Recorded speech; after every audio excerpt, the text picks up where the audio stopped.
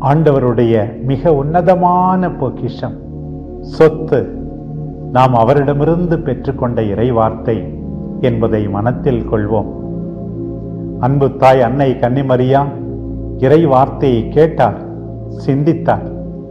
அதே போல நாமும் இறை வார்த்தையை ஒவ்வொரு நாளும் கேட்டு மகிழ்வோம். இந்த பெருமுயற்சியை மேற்கொள்கின்ற எம்எம்ஐ குருக்கள் அனைவருக்கும் குறிப்பாக தந்தை கிங்ஸ்லி அவர்களுக்கும் எனது நல்வாழ்த்துக்களையும் பாராட்டுக்களையும் தெரிவித்து மகிழ்கிறேன்.